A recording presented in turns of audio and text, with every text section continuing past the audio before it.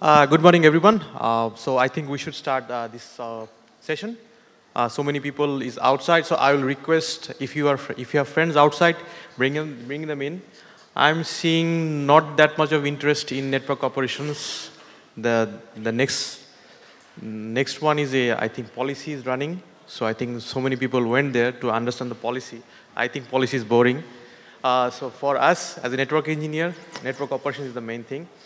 Uh, so we have a pretty good, uh, interesting three presenters, uh, one from LinkedIn, one from Facebook, and another where. Uh, so starting with the first presentation, I'll call upon Michael. He's from LinkedIn, and he's a very good presentation about, like, we face disaster all the time. Like, once in a time, if you are a network engineer, yes, you will, you will face this disaster once in your life, and that disaster will always you remember. So how LinkedIn uh, avoid this kind of disaster because they are a very big website and uh, I think all over the world they have a huge amount of users. Uh, so how they avoid the disasters? Uh, so I'll call Michael to present you, please.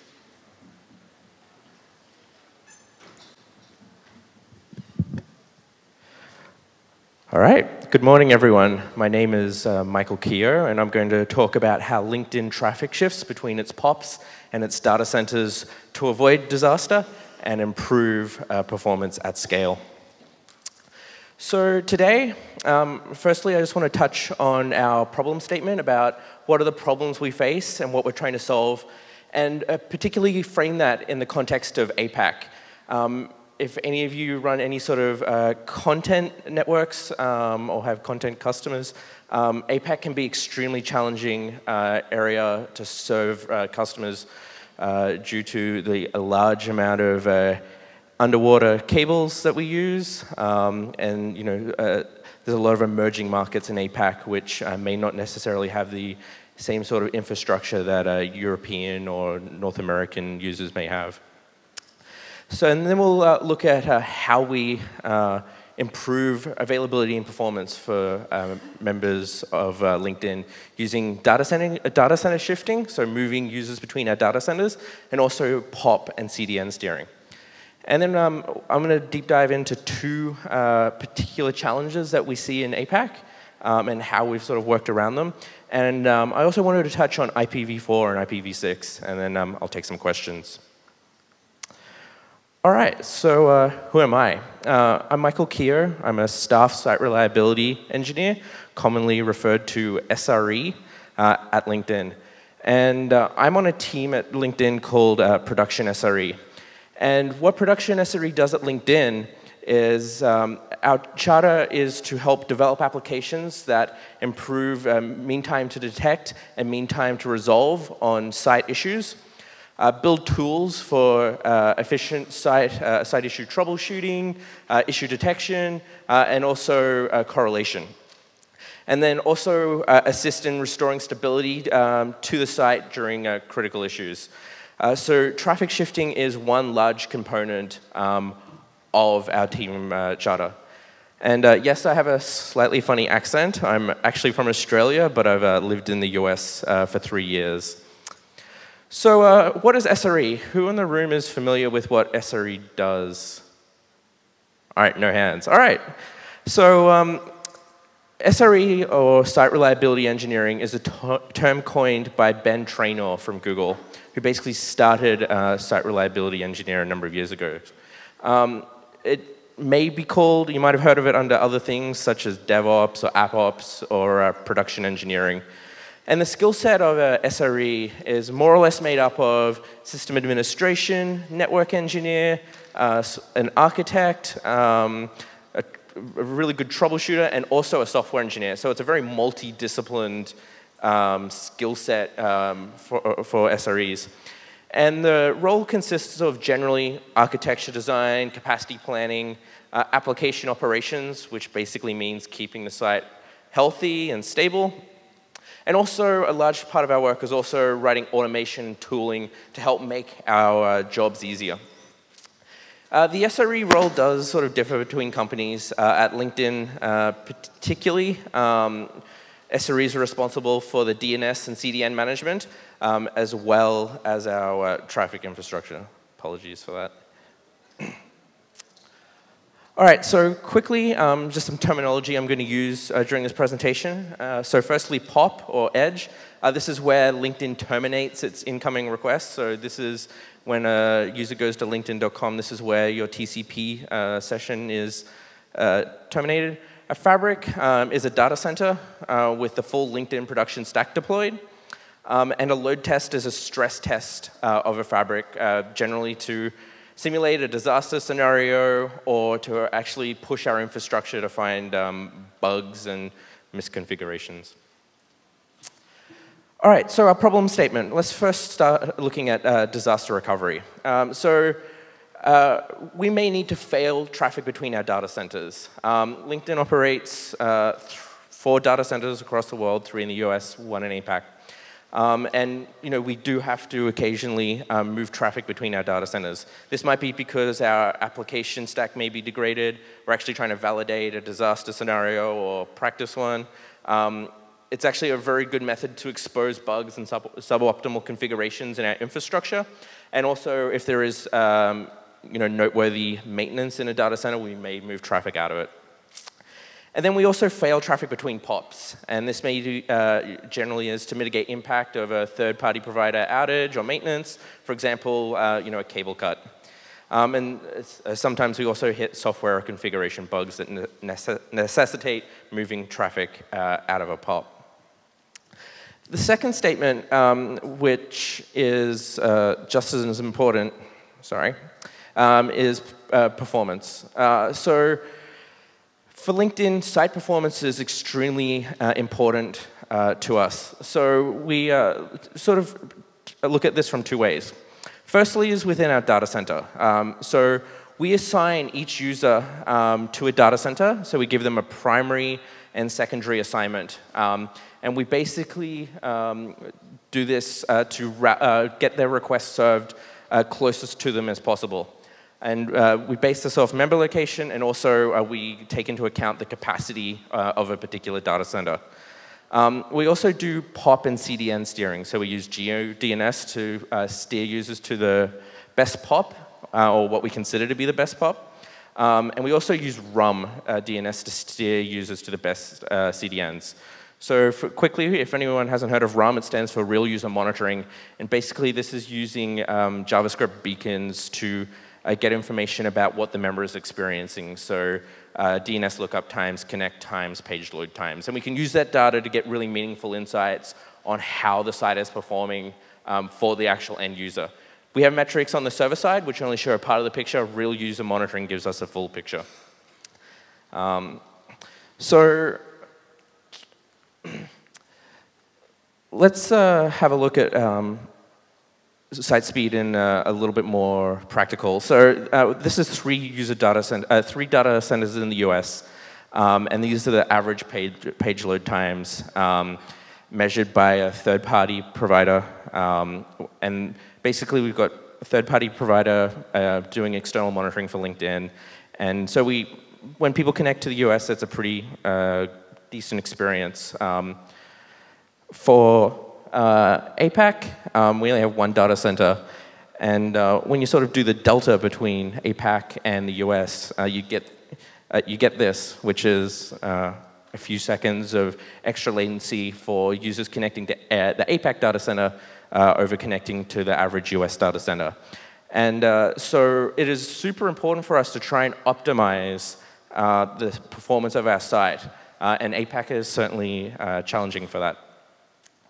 So uh, when we, uh, what does site speed mean to us? Um, so site speed affects user engagement. Um, and LinkedIn has done a lot of work uh, with data scientists to sort of quantify what the impact of site speed is on engagement. So uh, user engagement affects page views and transactions, which in turn basically uh, affects revenue for our company. So it is super important uh, to give a good experience in page load time. To help sort of picture this a little bit further, um, here's a graph that our data scientists put together, basically looking at uh, the uh, proportion of page view increases versus uh, site uh, load time. So uh, you can actually see for countries like uh, Brazil, China, and India, the faster we are, um, the, we actually get um, a much better engagement from our users. Um, the US, while uh, you know, we do serve the site faster in the US, uh, we don't necessarily see the same benefits for serving the, uh, the site fast. You may note that um, on this graph, we sort of normalized everything around two seconds. We've actually found that if you load a page in sort of faster than two seconds, um, you actually have a drop off in engagement for uh, some weird reason. Uh, all right, so how does LinkedIn architect its traffic? Um, so this graph is sort of a very high-level overview of uh, how our traffic infrastructure is set up. Um, so firstly, we have the client at the top, and they use DNS um, to find uh, our POP. Um, and what LinkedIn tries to do through its uh, DNS is give the best POP um, to the user, and we'll talk a little bit more about that um, a little bit later. And then within our uh, POP or Edge, um, we have IPVS, uh, which stands for IP Virtual Server, which is a Linux kernel module which basically allows us to do um, IP, uh, sorry, uh, layer 4 load balancing. And uh, IP Virtual Server actually announces uh, Anycast and Unicast routes to our POP and basically terminates that TCP connection for us. Then we have um, Apache Traffic Server, or ATS, which acts as our traffic proxy on the edge. Uh, so it terminates our SSL sessions uh, for us, and it then proxies the request to the correct data center. To the right of that, you can uh, see this uh, box called sticky routing. And uh, we'll deep dive into that in a second. But basically what sticky routing does is it tells the POP what data center to send the request to. Um, and then we have, um, again, Apache Traffic Server in our data center, which acts as a proxy for all the front-end application servers. So uh, let's talk about sticky routing. All right, so uh, sticky routing is a, a RESTful service uh, that we run in our data center, and it's backed by a, a Hadoop job. And what this Hadoop job does is takes uh, a huge amount of uh, data uh, from basically what we call page view events and works out where our users are coming from um, in terms of location. And we um, basically compute a data set to say, for this particular user, their best data center is this place, and if that data center isn't available, this is the next best place for them to go to. And we store this data in a key value store um, built internally at LinkedIn called Espresso, and then Sticky Routing serves uh, this um, assignment data um, over a RESTful interface um, back to our, uh, our uh, edge pops. All right, so um, coming back to solving our problems, so our solution. So for fabric shifting, sticky routing um, does a great job. It, allows us to petition traffic um, between our data centers, uh, sorry, allows us to petition traffic coming into our data centers. So we can split our traffic based on logged in traffic, logged out traffic. Uh, we can route our CDN traffic differently. We can route our monitoring traffic differently. Um, and if you're coming to a microsite, um, we can also uh, do something different with that if we so choose. So it gives us a lot of flexibility. And then for the logged in members, we basically shard um, all those members um, into our, what we call buckets. And then we can online or offline buckets to basically shape where our traffic goes to. Um, so, and so it gives us a lot of flexibility in um, moving our traffic between data centers. So what are the benefits? So we get to serve uh, the request as close to the user, user, as possible. It also gives us a lot of flexibility in uh, capacity management. Um, you know, we can't necessarily control uh, where our um, users may be coming from, um, although we do a, a, significant amount of research. Um, but we can um, sort of optimize as much as possible to make sure a data center doesn't run hot. And the other really cool thing is it enables personal data routing. Uh, the cost to serve um, data can be extremely expensive, and if you're serving, um, if you're storing the same data in you know four plus data centers, and the user is only going to be ever using it from one or two, uh, there's a lot of capex involved in storing and operating uh, that infrastructure. Um, so we can actually optimize where we store our data um, according to you know where the member is going to access it from.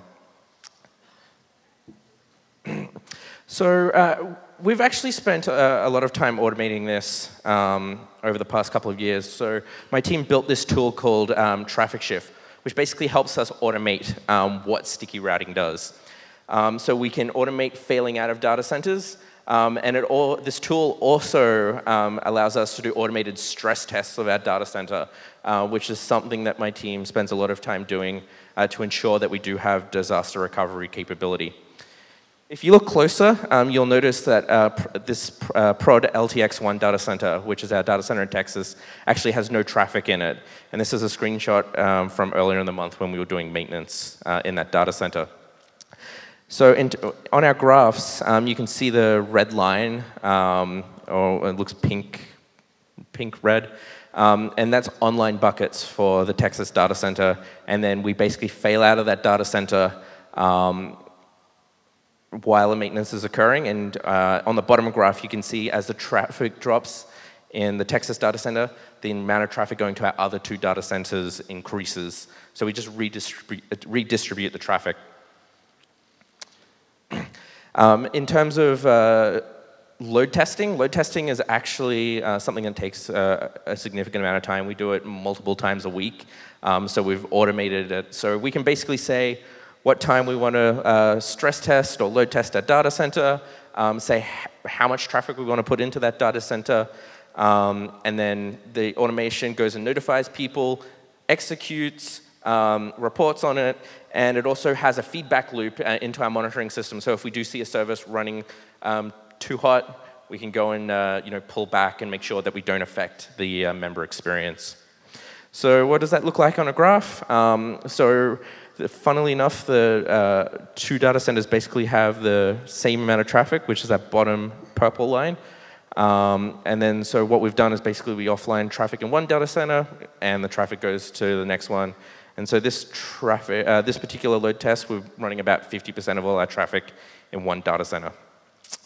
All right, so let's go and look at the edge.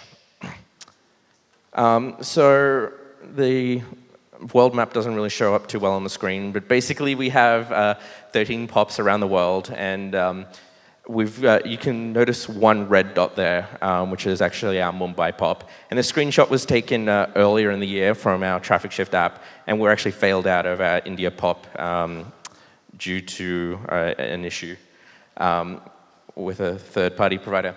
So um, we use IPVS, um, which announces unicast and anycast routes uh, to our data centers, and we actually split up um, our anycast traffic into regions. We don't generally run global anycast because uh, we do see in our particular instance um, uh, less than optimal uh, performance for our users. So we actually split it up into APAC, uh, Europe, and North American anycast regions. And then we use GeoDNS to steer users to the, what we consider the best pop.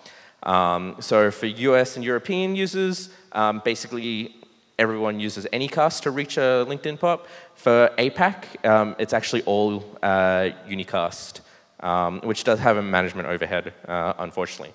But we've got something cool uh, to fix that, which I'll get to in a second. Um, so in terms of pop disaster recovery, you know, sometimes we have um, issues with providers or our own infrastructure. And so I've got two graphs here um, which illustrate that red dot before. So you can see the top graph, we've got traffic in the data center, then it drops off. And then you can see the bottom graph, uh, we've got another pop picking up uh, that traffic. Um, and so we just withdraw the uh, Anycast announcement or the, uh, for Anycast traffic um, using IPVS. Um, and then for um, uh, for the unicast traffic, we actually um, have a health check that our DNS providers use to see if we're up, um, and we just fail our health check and they drain traffic, um, unicast traffic away from our POP. If you look at the top graph, you'll actually see a uh, like a slow tail off in traffic, uh, which is actually uh, DNS TTLs not being honored. So in terms of POP performance, um, LinkedIn currently uses GeoDNS uh, for routing or steering users to POPs, but we're actually piloting RUM DNS, which instead of uh, you know looking at um, the best, uh, looking at the best pop for a country or a state, uh, we actually look at the network that they're using. Um, so uh, we've got a really good example of uh, how beneficial that can be in a second. And then we also do CDN steering. So we have multiple DNS providers around the world, and we mix CDNs to get the best performance that we possibly can. And we constantly evaluate that and adjust the weightings um, of the CDNs in a particular region. Um, so this graph, the top two lines are basically two DNS providers in the US and the 50th percentile uh, request time for all requests going to those CDNs. The bottom line is actually the net user experience for using the CDNs. Um, so if we, uh, for a particular network, if we use the best CDN for that particular network, we can drastically reduce um, the uh, time it takes to load assets from the CDN, uh, which is very much beneficial for our, um, uh, for our users. Um, so let's move on to APAC challenges. So again, looking at this fail out of the India POP due to fiber cuts. Um, so when we fail out, and sometimes it's an absolute necessity, it's out of our control, um, we'll fail out of a POP. And um, so in this case, um, Indian uh, people from the, uh, who are using the uh, POP in India are now using the POP in Singapore. So there is a, a jump in connection time. Um, note that is the 90th percentile, so uh, it's not an average uh, representation. Um, and then uh, secondly, going back to GeoDNS. Uh, so this is actually an example from the UAE.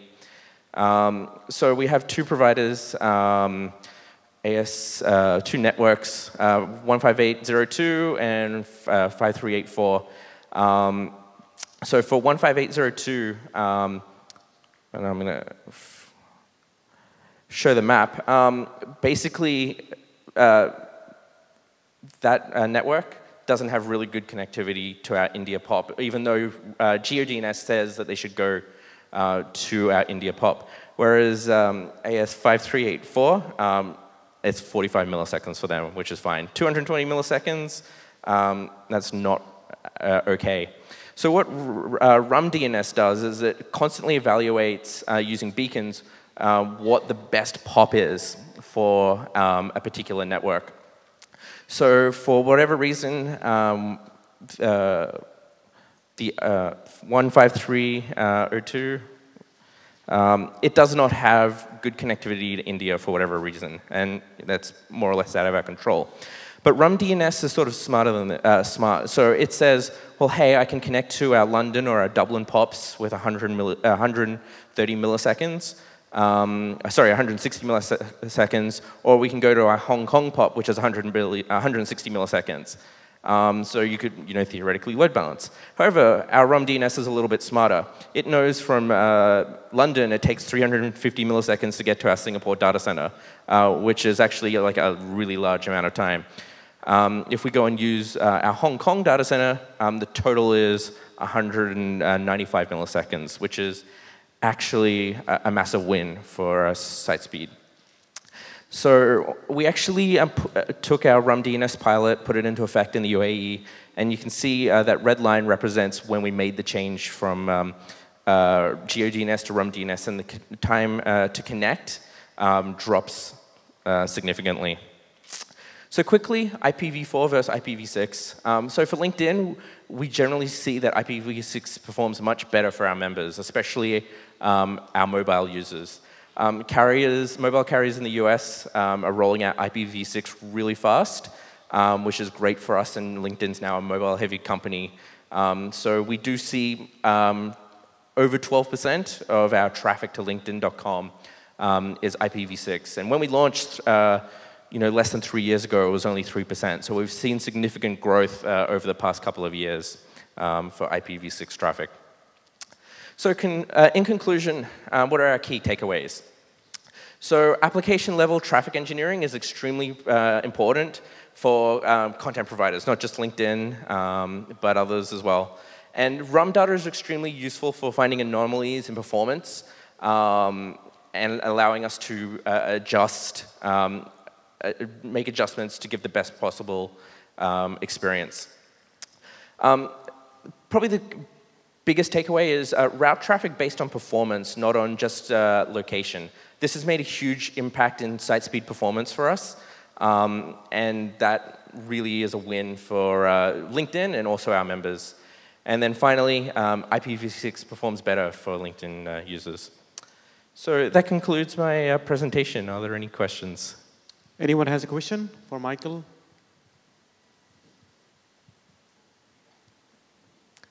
Drop silence, I guess. Thank you very much. Thank you, Michael,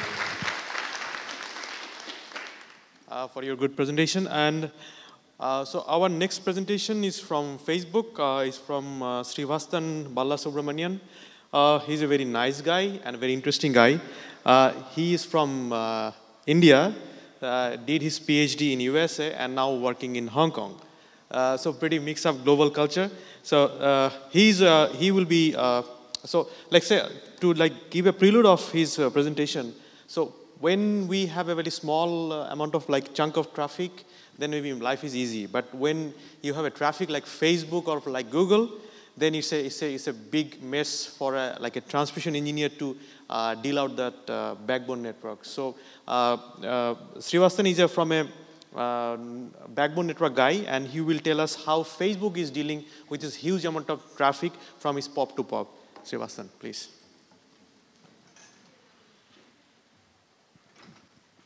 Hi. Thank you for the introduction, and a very good morning to everybody. Right.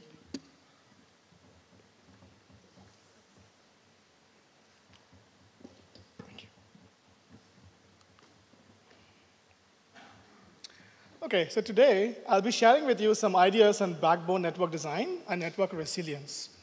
Right? Subsequently, we'll be applying these ideas on the Facebook backbone network, and we can quantify the cost savings. So first, let's look at the scale of Facebook, right? Facebook is pretty global, right? Um, in, in term, uh, uh, if you look at the Facebook backbone network, uh, it's going to host a, a bunch of uh, social network platforms, right? So you have, on top, you have the Facebook Blue app that's going strong at 1.86 billion users. Then you have a host of other um, social networks like Instagram, WhatsApp, Messenger, each of them operating at, a few of them at least going at over 1 billion users. So on a daily basis, you have billions of messages, billions of photos, videos that are being exchanged on this social network, right? And you have these emerging bandwidth drivers like Facebook Live and virtual reality, right? So these are latency sensitive and they are bandwidth intensive. So if you look at the traffic that is there in the network, you can broadly look at it as two different types of traffic. One is a machine-to-user interface, then you have the machine-to-machine interface, right? The machine-to-user is as Facebook adds more services, adds more users, there's going to be a steady growth in the uh, machine-to-user traffic, right? And then you have the machine-to-machine where um, you know, all the machines in the, in the data center and the POPs, they all come together, talk to each other, and gives you, delivers you the Facebook experience that you see on Facebook app, right? So that is pretty, uh, you know, it, it is growing at a pretty explosive rate, right? It more than doubles um, every year, right? So now, if you look at the, um, um, the, net, the traffic mix, it's actually a, a mix of the high priority, latency sensitive uh, applications, and, and you have a low priority support services, right? Pretty soon we'll see how we can leverage these uh, mix of priorities uh, to make an efficient backbone uh, design. So here is the schematic of a Facebook backbone network. Now, it is, each blob that you see in this um, picture is, is either a POP or a data, uh, or a data center, right? They're all, um, the, we have about 100 plus IP sites, about 200 plus optical links. They're all spread over like five different continents, right? So from technology point of view, in the IP layer, right, you have um, you know, IP MPLS capable um, uh, switches and routers um, that are optimized for backbone transport, right? From um, uh, optical point of view, uh, you have these um, CD ROADMs and digital ROADMs, right? And you have um, uh, flex grid and fixed grid uh, transponders as well. Right? So each of these uh, uh, channels could be operating at you know, uh, modulations like QPSK, 16 QAM, 8 QAM, etc. Right? So it's a fairly uh, diverse network. If you look at the optical fibers, they're a mix of um, you know, subsea fibers, so terrestrial fibers, and then aerial uh, fiber routes as well. Right? So it's a pretty diverse network. Um, you know, it's, it's got um, uh, quite a volume of traffic running on it. So what we're going to be talking about in this presentation is how to design for this backbone. Right? So, but before that, let's first look at how traditionally a network is planned, right? So, a, a network typically, um, the, it, a traditional way of planning is you're given a physical topology and a, uh, and a, a, traffic projection, right? So a planner would typically look at the network, uh, you know, based on years of experience, based on um, uh, you know, uh, what he's seen in the past in the network itself. So typically he decides some of the IP links that needs to go into the network. And once IP links are decided, he uses a tool to run the, um, you know, the dimensioning of the IP links. He does some failure analysis, then comes up with the uh, network design. Right? So now the, the objective is opti optimizing L3 ports. However, what is missing in the whole piece is that you know, um, you need a tool which can tell you what is the best design, right? Because it's typically manually done. There is no way to verify what is the best design. If there is a better design out there, how, how do we go about finding this design, right? So that is what is missing in this piece, right?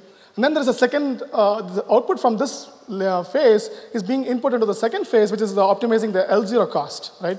Where the routing of the optical circuits are done, the wavelength assignment is done, and, and, and with the objective of optimizing L0 cost, right? So this two, two-phase step approach basically is really you know, inefficient for Facebook scale network, right? So what we are kind of advocating is more of a multi-layer planning strategy where we will design the IP topology, right?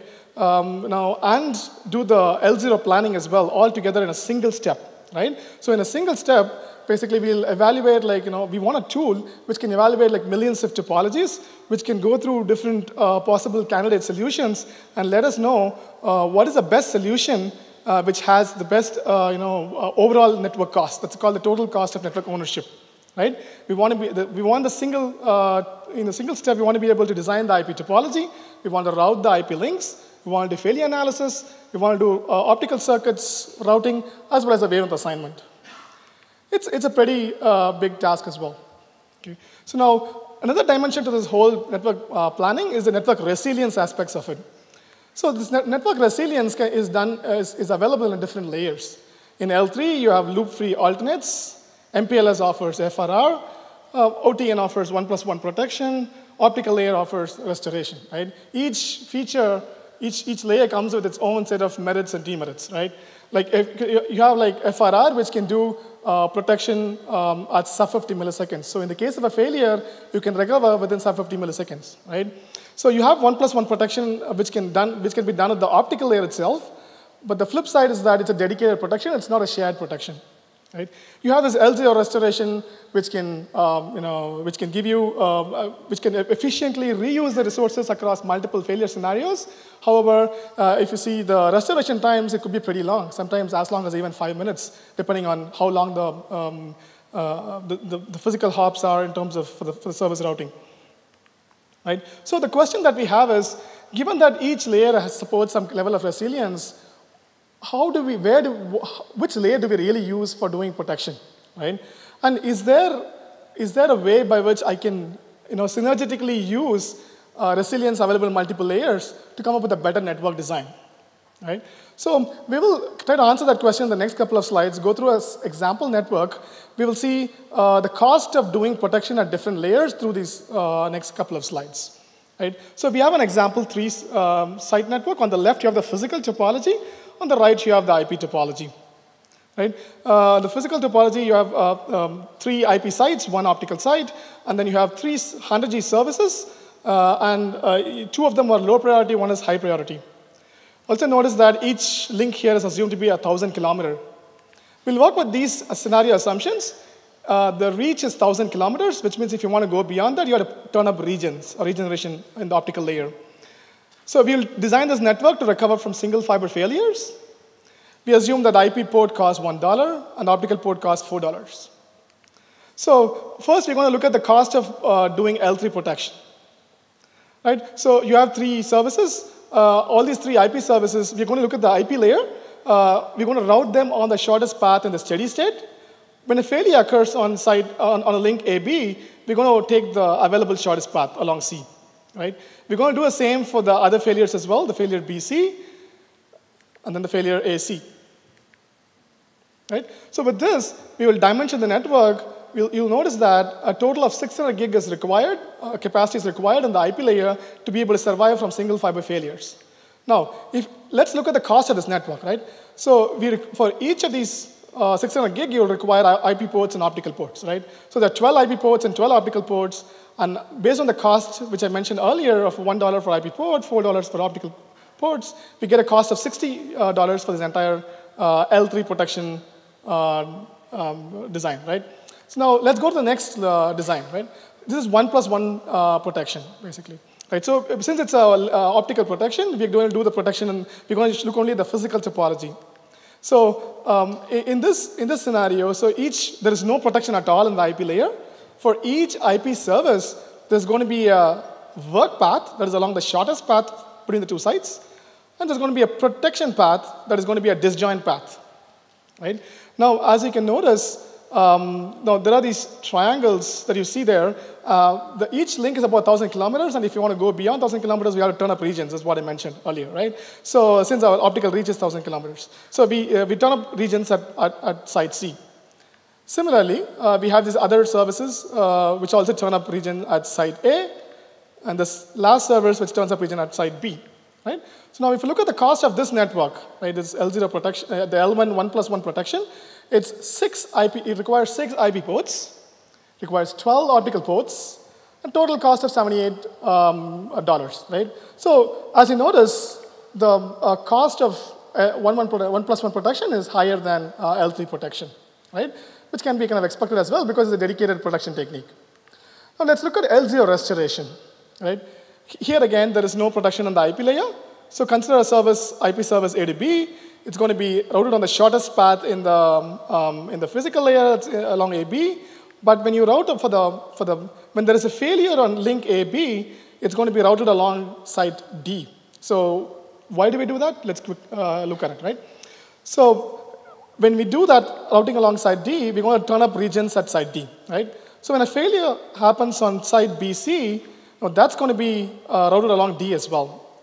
Now here, the regeneration ports that were originally turned up for AB can be reu reused for BC because we know that AB and BC are not going to fail together because we are looking only at single fiber failures, right? Which means that we can reuse the regen ports across these two scenarios, right? We could do the same for AC as well right? Re, uh, reuse for AC as well. So if you now, if you look at the final cost, right? So in uh, L0 restoration, you do two things, right? One is you reuse the IP ports and the optical ports the, that you turned up for the steady state at the endpoints, and also uh, the regeneration ports you have along the way that can be shared across failure scenarios, right? Because of this, if you look at the total number of ports that you require, it's only six IP ports, six optical ports, two regen ports, and the total cost is 32 right?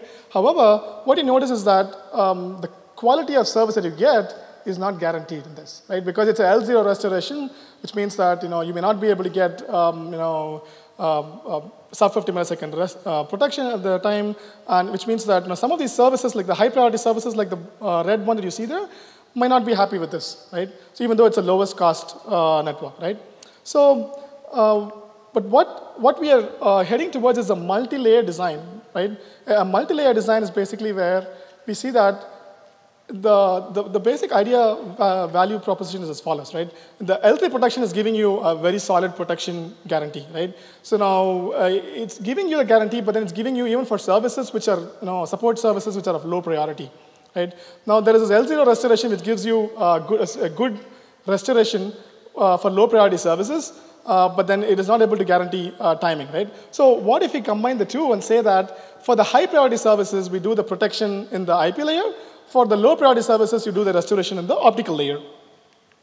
And that's what we're going to see here, right? So, the, so AB is a, a low priority service. We're going to do a restore in the optical layer just as before by turning up the regen ports at site D. Now, for the second low priority uh, service, again, we're going to share the regen ports at site D, right?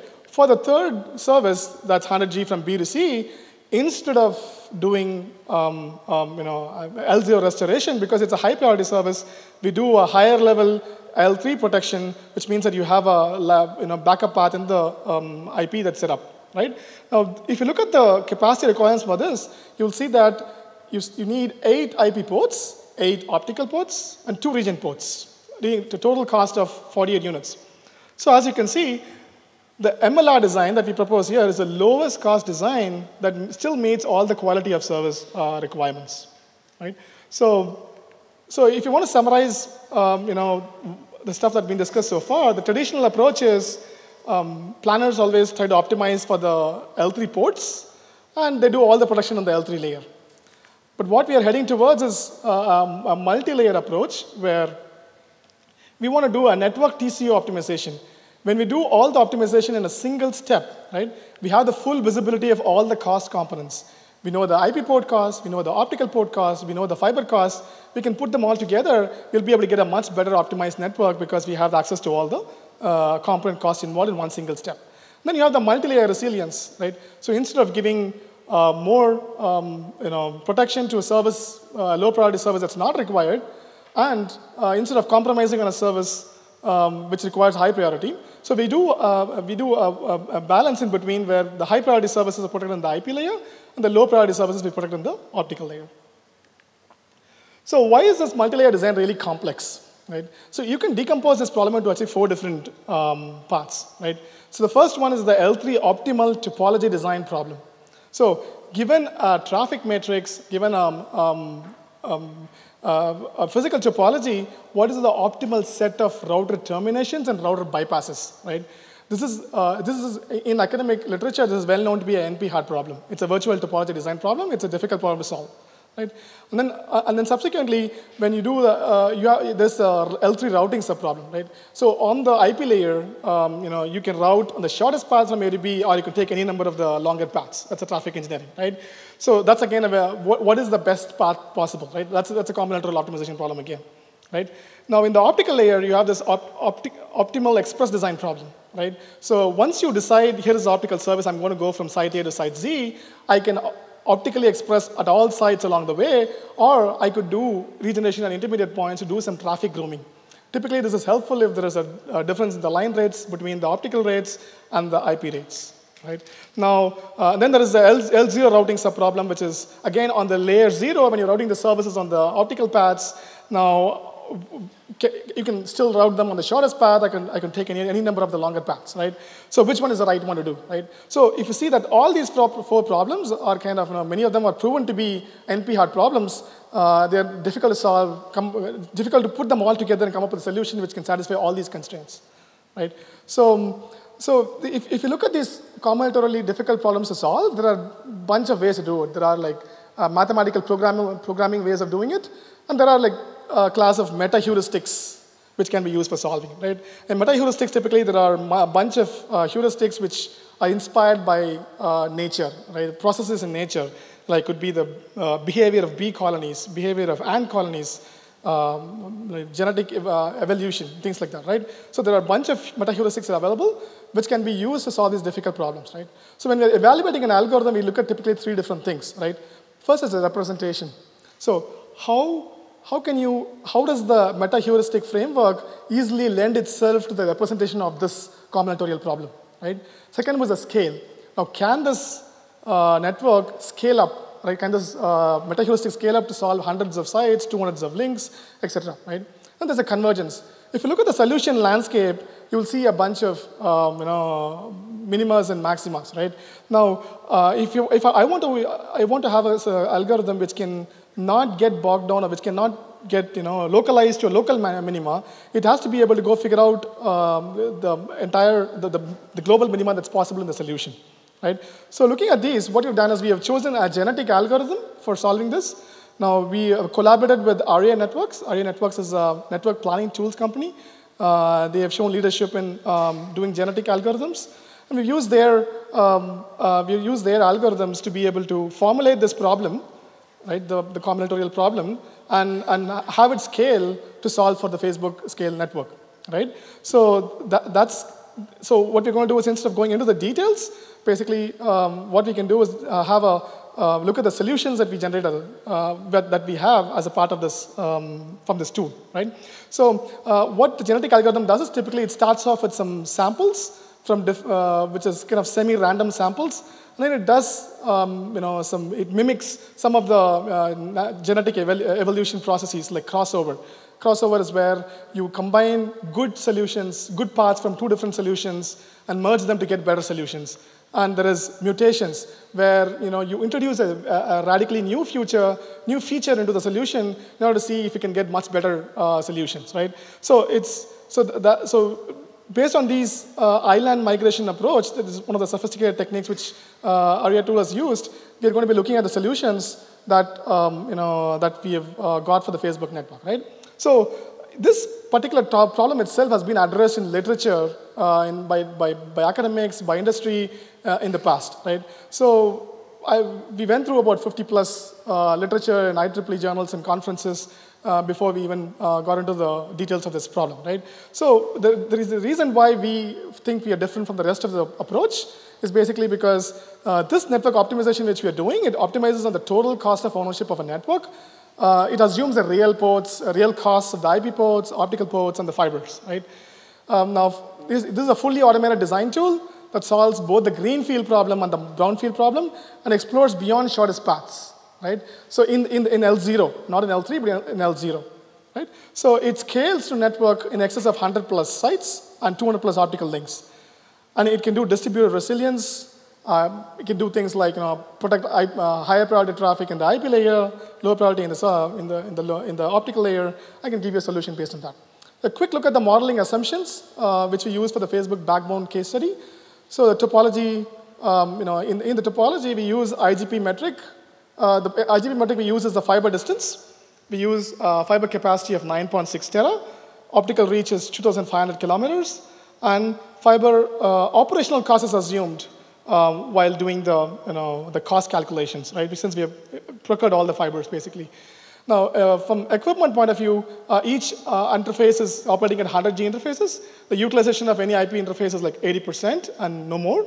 Um, then we, we always assume the shortest path on the L3 layer but we can take any number of you know, deviations in the L0 layer. So the tool will be able to come up with those suggestions of what is the path to take in the optical layer. Right?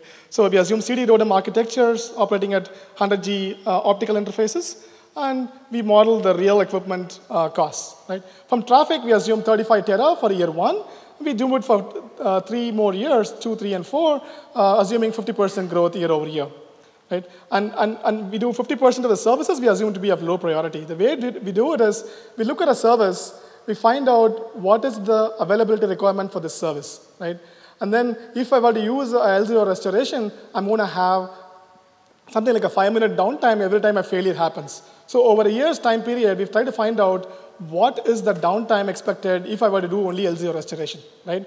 Now, if the availability requirement can be done can be satisfied only by L0 restoration, we'll, we'll categorize the service as L0 um, restoration capable service, right? If not, we say that this service has to be protected by L3, right? So that's how we kind of came up with this ca categorization, right? And then finally, the objective of our study is to be able to look at the uh, network, dimension it for single fiber failures, and then we optimize it for the network total cost of ownership. So in this, uh, in this slide, we look at what is the total cost of ownership saving you get by looking at a multi-layer design as opposed to a single layer design. That is, both the approaches assume only protection on the L3 layer. There is no split of the service protection here, right?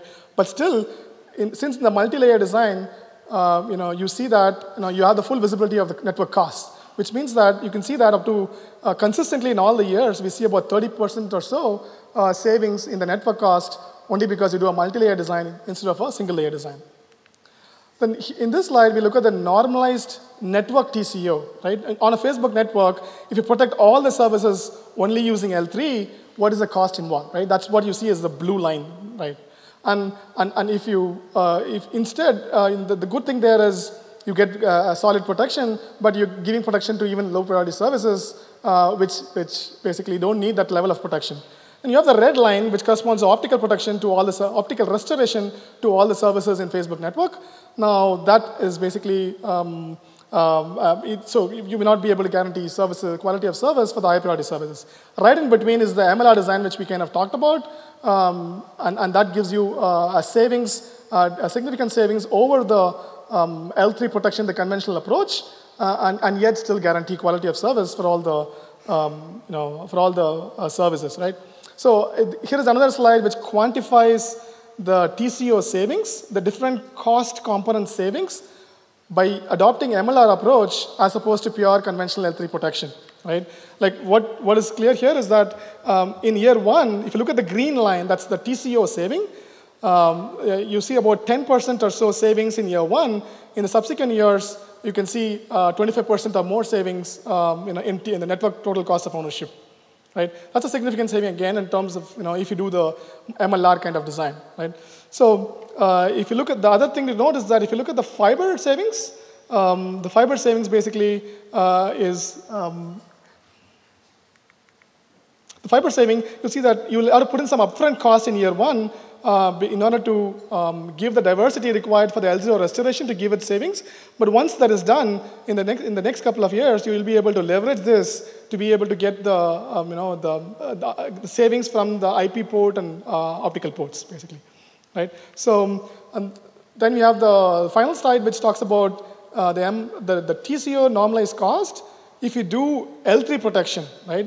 But then if you, if you, did, if the if you, uh, if you want to allow the, the steady state paths to deviate from the shortest path, right? If, if you uh, always take the shortest path, you get about $100. That's the cost you see on the left, right? So if you deviate by up to 110% from the shortest path, you can get up to 70, uh, you, the, the, network would cost only $72, uh, right? So about 28% savings by deviation of 110% in the steady state, right? So the tool pretty much is, has the capability to be able to figure out uh, what are the different possibilities and such a solution based on the same. So in conclusion, so multi-layer design can achieve significant network savings, right, when compared with single-layer design. By restoring uh, low priority traffic in the optical layer and high priority traffic in the IP layer, you could do significant network savings there as well. So in the, in the future extension, we are, we are planning to um, you know, uh, include the traffic engineering in a multi-layer perspective. Because as we mentioned, um, the ARIA tool is capable, currently able to do um, beyond shortest paths in the optical layer. Right? We want to extend this up to beyond shortest paths in the IP layer as well. Right? So, and finally, the challenges to be addressed by the optical vendors as well. So there should be an online engine for, uh, for validating optical closures. We need open APIs for real-time path computation. And then we need optical port cost reduction as well. Right? So that's pretty much a summary of what we had. I can take some questions.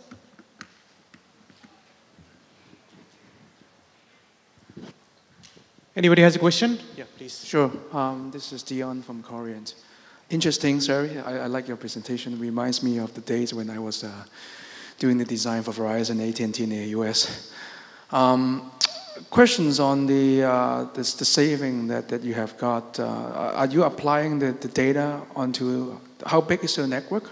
For your for your analysis? Okay, for this how many network, and how many links so are we talking That's about? the 100 plus IP sites and 200 mm. plus optical links. That's the entire Facebook backbone network, worldwide network.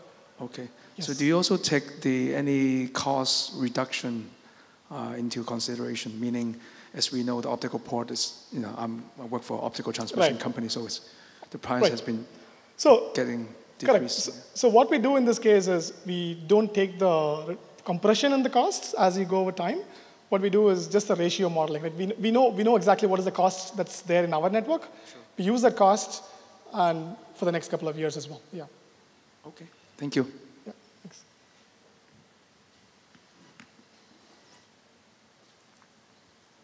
So I'm just interested to know what kind of DWDM gear do you use to terminate the dark fiber between the POP and your data center? Uh, sorry, what is that? What kind of DWDM gear do you use to terminate the dark fiber? What kind of DWDM network we use? Yeah, DWDM gear, which vendor do you use? I mean, I'm sure you would be oh, using yeah, I mean, dark fiber, this is right? a completely multi-vendor environment, really, I would say. There are yeah. certain links, I mean, uh, depend on the, depending on the region, depending on the links, right? we use different vendors really. Okay, and sometimes they are uh, CD ROADM based, sometimes they're digital ROADM based. There's a, it's a, and we have a mix of uh, long haul as well as metro. Since you, we're talking about 200 plus IP optical links, I mean, each one has different um, reach, different characteristics. So we use it's a multi-vendor environment really, I would say. Yeah, the reason I was asking is like you have many number of sites, right? I, I'm sure you must be using some device which is very standard. Like we've been working on like uh, BTA and some other vendors. Like we see some kind of challenges with them. Yes. So I was interested to know which vendor does Facebook use mostly for majority of the sites. No, I, I would say it's it's more of we are working with the vendors to even improve the way okay. things can be used as well, right? So as I said, uh, being a global network like this, we have to work with multiple vendors. We yeah. cannot just be working yeah, with one vendor. Okay. Yeah. Thank you. Yeah. Thank you. Any other question? I have a question. Yes. Uh, the thing is that in uh, the presentation you have said is a very good presentation, but the problem in like in South Asia, so you see there is a divide. Like it, most of the people we are working here with IP, and there is a divide in the IP people, like they are network engineer, and there is a divide like they are transmission engineer. And the transmission engineer, they don't want to understand IP, and the IP people, they don't want to understand transmission. So, but your approach is totally combining the two things. Right. That is very good for a management pers- perspective because TCO is going down and down and down. So our, our like investors will be very much happy. But how we will see that this, you merging these two different set of people together, uh, how you merge these things in Facebook? Yeah, so I think I would say the way I see it is these are, um, we can, we look at it more from an algorithmic point of view, I would say, right? I mean, you have IP layer. So the, the, the study that we are talking about here is more of a backbone design study, right? So you do have IP components, you have the optical component as well, right? So yes, we need to, um, we need to, I mean, I think definitely going forward, uh, having only the IP and the optical knowledge separately will not going to be, it's not going to be really scalable, right? You need to have a mix of both, and if you do that, we should be able to uh, get a much better saving is what I would say. And even like uh, like adding with you, like this, always these two set of people, they like pointed to each other. I didn't do anything. He, it's his job. And those guys, they pointed to each other like I didn't do anything. Correct. So like uh, mixing those two Correct. people is very hard for for this kind of approach. So no, no, this, this is this is not an operational thing, right? So operational, we this is uh, a design, network design, right? So once the design is done, the, doing the design is where you mix the IP and the optical layer, right? Once the design is done, it's like as good as deploying a regular design, really. Because eventually, I'm going to have um, you know IP link. See, eventually you'll have an IP link. The IP link maps into a path in the optical layer, right? And on the path, you're going to have an optical service, right? That paradigm is not changing between this multi-layer paradigm and the regular paradigm, right? So there won't be any confusion at all in terms of operations point of view. The difficulty is actually the optimization, which we are completely taking care of from the tool point of view. Okay, so there, I, I don't expect to see any optical uh, or any uh, operational issues at all in this design. Okay. Thank you. Anybody had a, any question? Thank you, Balasubramanian. So it's a very good presentation. Thank you. Give your hands together. Uh, so, uh, so uh, uh, uh, giving our next presentation, I should tell a story because I work in a company called Fiber at Home. We are a kind of like a, um, we, we just give backbone to our, uh, to, to the operator. So we have a very small amount of uh, customers. Uh, the point is that we, I started uh, Fiber at Home after it begins uh, like six months after it's, it's born. So it's like 10 years back. So when we started like uh, uh, digging up the fibers and we started buying on that time maybe STM4 equipment, then my management called me, yes, is the STM4 4 equipment okay fine? Maybe we can go like three years or four years. Uh, I said okay, I don't know. Like after two years, I, I ordered like STM16 equipment. Uh, then they ask the same question to me, how you justify, because two years back you have installed all the STM4 equipments. I, to, I told him that yes, still I don't know. So after two years, then I, we, we, we, we shifted to all with STM64s and uh, we added all the 10Gs uh, to our routers. They called me again, what you are doing? Every two years you are investing and investing and investing. And also that there's two people like transmission and IP guys, then are, they are growing big. I told him that yes, I, I don't know. Two years back, we upgraded all our 10Gs to 100 gigs. And now, uh, I think if you saw my Facebook, I, I was really finding that which is the operator who has 400 gig. Uh, somebody told me, like, like I, somebody told me, yeah, I have 400 gig. Internally, they are just binding all the 100 gigs together, four, four into 100 gigs, and they made it 400 gig. So still, so the, the, the, the interesting thing is that how we are going up and up and up so last, like in, in January, we had a, we had a very good uh, management retreat. So the management people meet with the operation people. My MD called me, hey, what you are doing? Now you have a 100 gig, gigs of circuit and you are again trying to invest. And I said, yes. So what, why? I just answered him, still don't know. Yeah, there you see, you are, you are going towards SDN. So that's the thing. So uh, yeah, 100 gig is two years back already. Uh, uh, so I don't know. Beyond 100 gig, what is that? So uh, Sisio-san will come with this beyond 100 gig. What is going to beyond 100 gig? I don't know, 400 gig or 800 gig or terabyte interface. He will tell us from Arista. Thank you.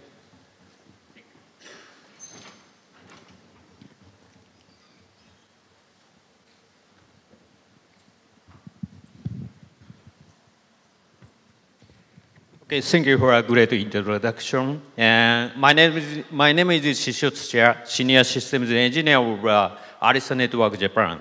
My presentation title is Beyond 100 Giga Ethernet. What will be happened uh, Ethernet area within the one or two years? And this is current data center topology. Uh, they, uh, we in the leaf switch uh, using 1 giga E or 10 giga E to the server side. And also they are using uh, 10 giga E and 40 giga E uh, as the uplink side. But east-west traffic is increasing by the machine-to-machine traffic, as uh, Facebook mentioned. And server performance will be more efficient by the CPU uh, performance and uh, uh, parallel processing will be uh, uh, enhancement. So uh, this is Ethernet server shipment. there are Aura Group forecasting 25 giga Ethernet port over 40 giga Ethernet in the 2017. green, green line is uh, 25 gigabps and the purple line is 40 gigabps. And it will be uh, reached 2.5 times than the 40 giga Ethernet by, the, uh, by next year. So why 25 giga Ethernet? Then the, uh, we have to the considering back to the 100 giga, current 100 giga Ethernet technology.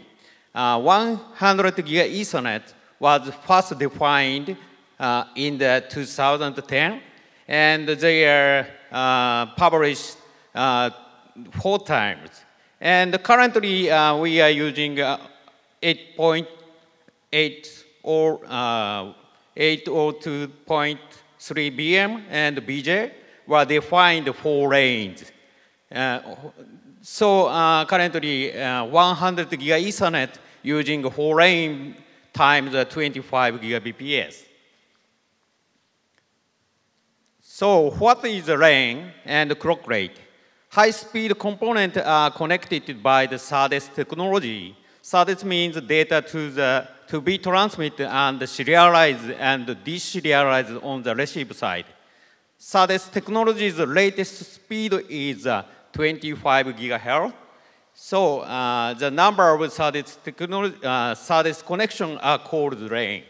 So uh, currently, uh, best uh, performance of the SerDes technology is 25 giga Ethernet, and 100 giga Ethernet are using uh, four lanes. And the more, more important thing is uh, PCI Express 3.0 and the network interface. PCI Express 3.0 uh, times four slot is widely shipment as a uh, server platform. PCI Express 3.0 physical bandwidth is uh, uh, 8 gigabps per lane. 25 gigabps would, could smoothly upgrade from 10 gigabps server platform. And bandwidth efficiency is better than the 10, current 10 giga Ethernet, uh, uh, current 10 giga Ethernet uh, environment. And migration is uh, very easy uh, to the 25 giga uh, BPS from uh, 10 giga BPS Ethernet. Uh, 25 giga Ethernet using uh, SFP28 optics, which can use same cabling infrastructure. OPEX of the migration will be a minimum because the figure mentions this is migration is very easy. Very same uh, cable, uh, it, it can use the same cable infra infrastructure and uh, physical topology. And uh, bandwidth will be in, increased 20, uh, 2.5 times. And merchant silicon, uh, we are using merchant silicon technology. And uh, when they are considering merchant silicon, uh, it, it important thing is how many lanes support and how much total bandwidth. Uh, first shipment of the merchant silicon, the Broadcom Trident Plus is uh, uh, only uh, 640 gigabps, and uh, number of SerDes is only supported to 6 through 4. But uh, current Tomahawk, Broadcom chipset, and Cavium chipset uh, supporting 3.2 terabps, and also uh, they are supporting number of SerDes is 128. Uh, so uh, if uh, we are considering 20, 25 giga Ethernet, then the, uh, we, uh, uh, we will use Tomahawk or Cavium XP80. And this is standard technology slide. Uh, 25 giga Ethernet is was uh, uh, first, in, first de defined on the 25 consortium. The draft was completed in the September 2050. And the uh, used technology uh, is uh, 802.3BA and BJ. And after that, uh, will be, uh, IEEE was defined uh, as a standard. And uh, 802.3B was formed in November of 2050. And uh, 2060, uh, IEEE standard was approved. So there is some difference, especially forwarding error detection, it, it called FEC. Uh, 25 consortium is uh, FC FEC and RS FEC as an option, but uh, IEEE 802.3b work is using uh, detect FC FEC and RS FEC and no FEC by the auto negotiation.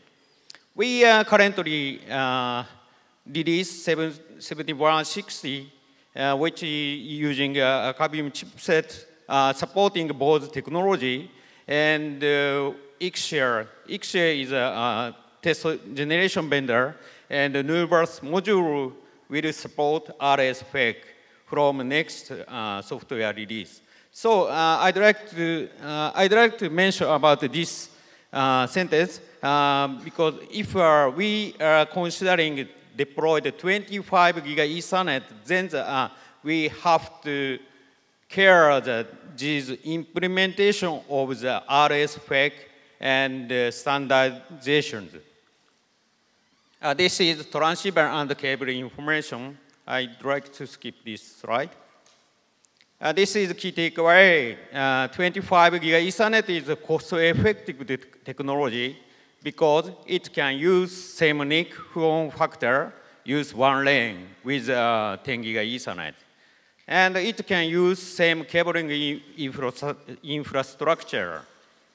And uh, it can increase 2.5 times speed than the current 10 giga Ethernet and 25% resources, resources compared with uh, 40 giga Ethernet.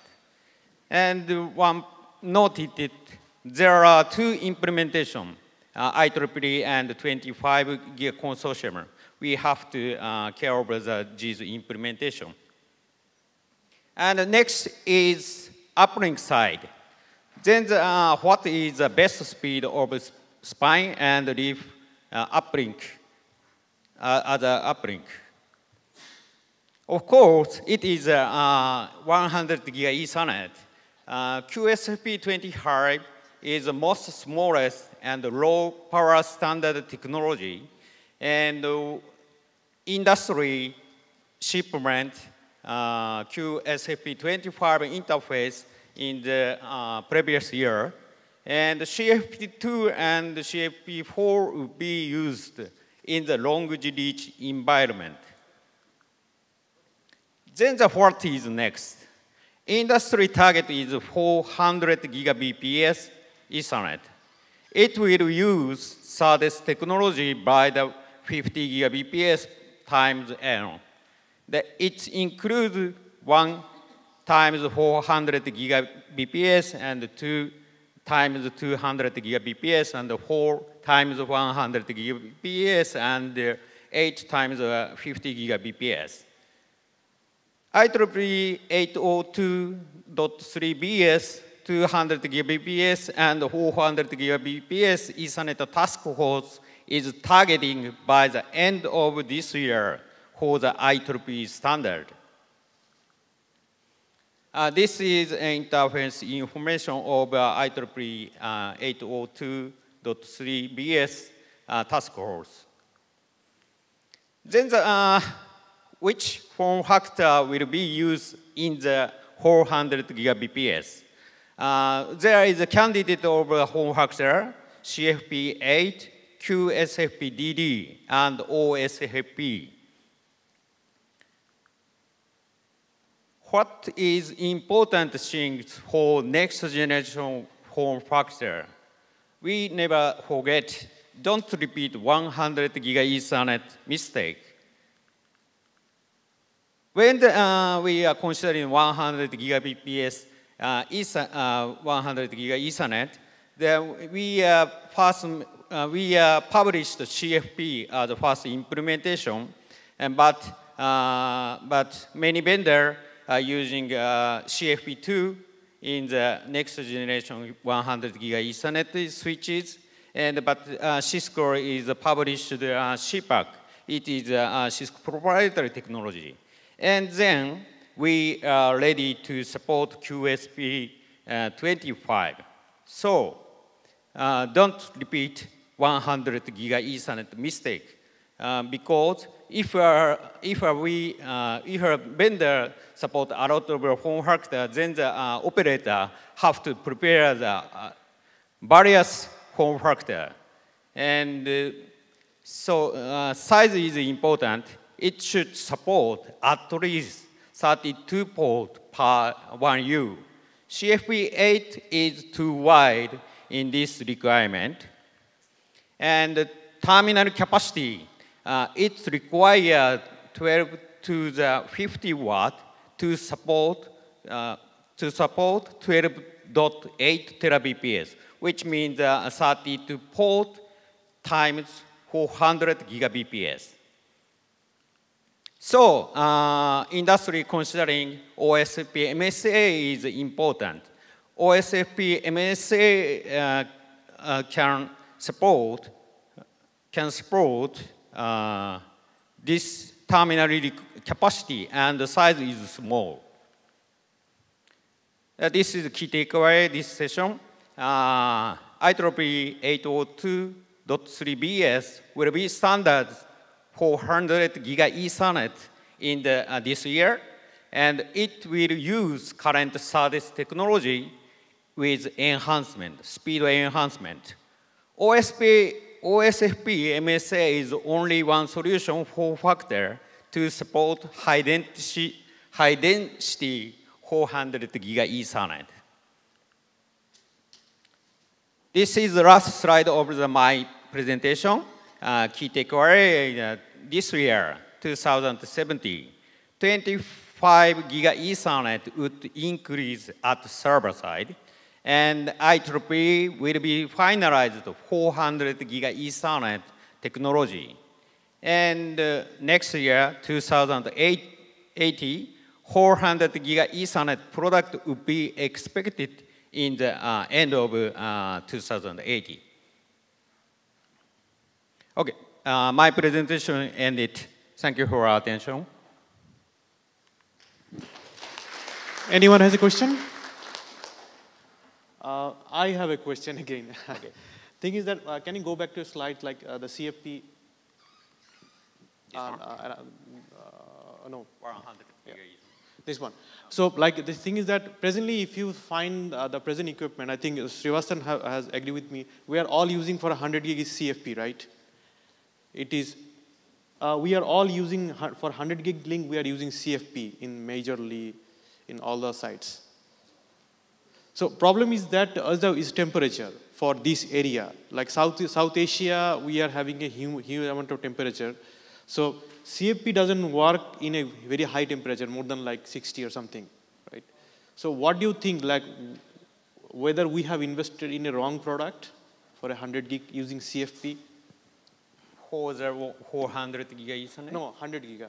Uh, one- 100 year. Uh, okay. Uh, I, I, uh, industry uh, currently supporting uh, CFP2 to support a long reach, long reach environment. And also, uh, also CFP4 will be support uh, long reach, I think. So the thing is that, like say, uh, uh, so CFP, they, because it's using huge amount of power, 32 watts, so it generates, inbuilt it, it generates heat. But if you compare with 40 gig SFPs, so that is also already like that, that doesn't generate that much of heat. So we are not using 40 gig, we are coming to 100 gig. So is, is it a bad investment? My question was that.